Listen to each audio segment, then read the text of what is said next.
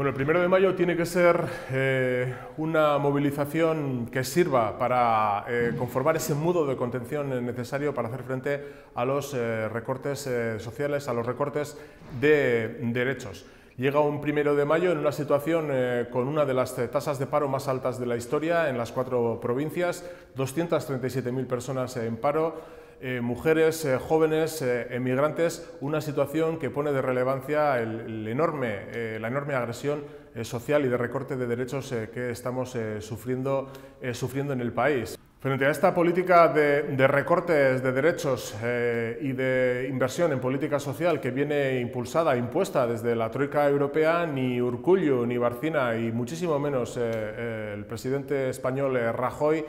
tienen intención alguna de parar los pies a esta serie de medidas. Al contrario, son meros transmisores de esta política social y económica impuesta y qué tan graves consecuencias económicas y sociales está teniendo en Euskal Herria. Por lo tanto, en este contexto de, primero de mayo es necesario movilizarse, salir a la calle. Nos quieren eh, fuera de las calles, nos dicen que la movilización eh, no sirve para nada porque evidentemente lo que quieren es una ciudadanía derrotada, una ciudadanía resignada ante el recorte de derechos y del recorte de políticas eh, sociales. Muy al contrario, nuestro reto está en la calle, en la construcción de ese muro popular